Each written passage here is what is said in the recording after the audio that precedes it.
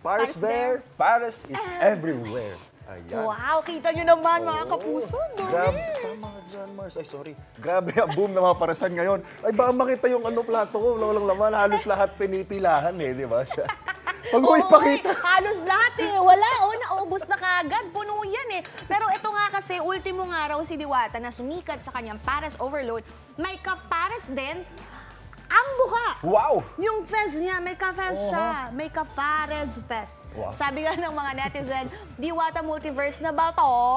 Yan nga po si Diwata Jr. na viral online dahil sa kanyang pagkakahawig kay Diwata. At ito pa mga kapuso, masarap din daw po ang Paris niya. Oo nga, no? Talagang pinagbiyak. Kaya naman, this morning, ang maladiwatang kapuso artist na si Ashley Rivera, kikilalanin siya. Good morning, Ashley! Good morning, Miss Kain tayo!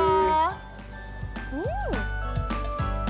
Good morning sa inyo ulit, guys! Grabe na talaga yung Diwata Fever, 'di ba? Kung saan, saan na sila nagsusulputan. Meron dito, meron doon. Pero, ngayong umaga, meron akong kasama dito si Diwata Junior, yung small version ni Diwata. Ay! Bakit? Hala, is that you? Yes po. Parang wala kang masket. Ikaw na ba si Mr. Right? Charot lang. Naman? Good Hello po. morning. Good morning po sa inyo. Grabe, mga kapuso, kamukha niya talaga si Dewata. Pinaliit lang na version. Ano po yung pangalan niyo ulit? Tu- Yung tunay yung pangalan? Ako po si Ellie Di Binagracia from Taytay Rizal po ako. Ah, hello, Ellie. Okay, so ano yung role mo dito sa ating paresan? Ikaw yung taga-luto. Ano yung role natin dito? Apo, ah, bali, dito po sa Kuya Boards, ako po yung cook nila dito sa Pares Overload po. Wow, okay. So ano yung ano yung trabaho mo dati bago ka mag, magluto dito? Ah, before po, ano eh, ah, cook din po ako sa may Paresan po sa Pasig City. So, memorize mo na pala talaga yung mga pares. Yes po. Okay. So, ito, sa, sa lahat ng mga nakainom mo, syempre ito yung paborito mo, di ba? Apo. Oh, i-share mo naman sa amin yung proseso. Paano ba, paano nyo napapasarap tong pares na to? Ah, una po, yung mga karne, pinapakulo po namin sila 2 to 3 hours po para yun po yung ginagawa namin na ano, eh, kaldo. Kaldo. Yes po. okay. Then po yung next naman, nilalagyan na po namin sila ng spices. Okay. Apo. Then yung last po, binababad lang, hinahayaan lang po namin sila sa apoy. Kasi the more na ano, kumukulo siya, mas lalong lumalasa yung sabaw. Wow, okay, ganun pala yun. Alam mo, nakalimutan ko sabi, at nakalimutan ko itanong, ano yung pakiramdam na nakikilala ka na bilang Diwata Junior? Ano yung reaction mo dun?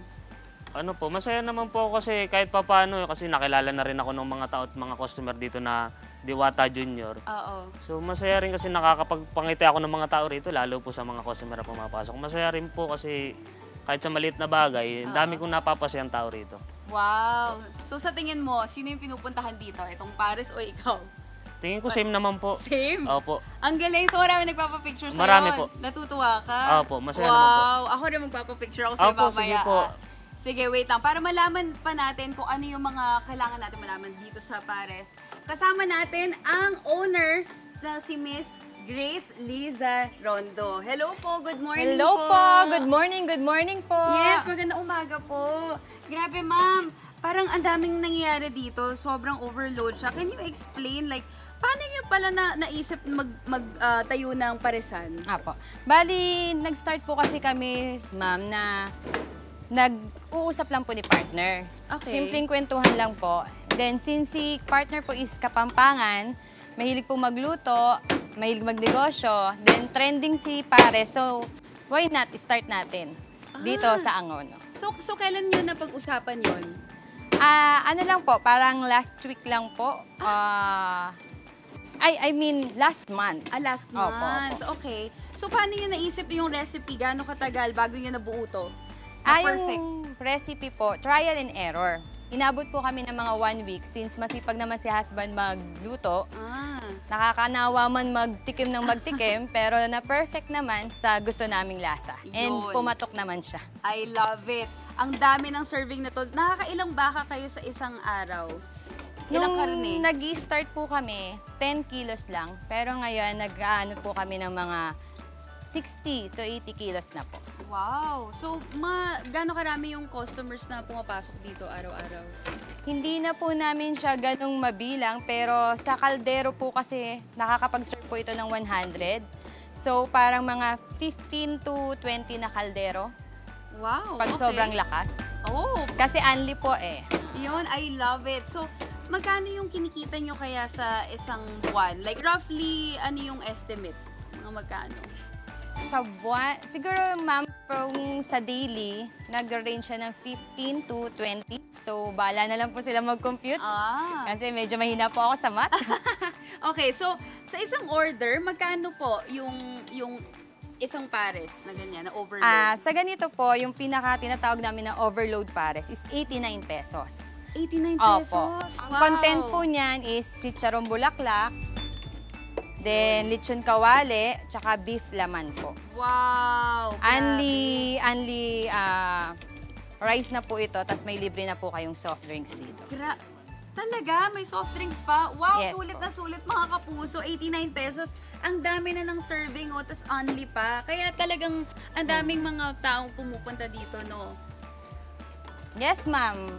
Kahit po kasi estudyante, yun po yung pinaka-goal namin. Yung kahit estudyante, kaya niyang i-avail. Ma-afford. Oo, Opo. tama. Okay, so, syempre weekends, yun yung maraming tao, mga paggabi ba, or the whole day, marami talagang pumupunta? Marami naman po talagang pumupunta, lalo na po nung nag-trending siya, nung mga na-vlog po siya ng iba't ibang vlogger po.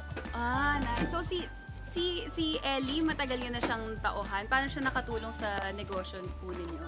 Ah, malaki din po yung naging tulong niya since medyo nung start po, wala po kaming idea na kahawig niya eh. Mayroon lang po nakapansin na customer. Ah. And then nung na-vlog po, mas lalo pong dumami po yung naging customer. Ang galing. Okay, maraming salamat po. Excited na ako matikman to. Thank you so much.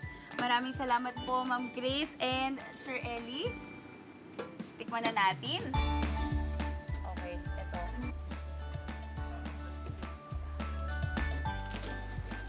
Mm.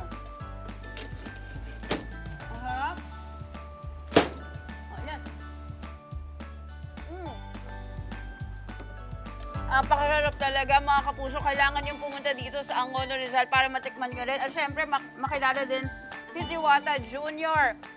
Kaya tutok lang kayo dito sa inyong pambansang morning show kung saan laging una ka, unang hirit.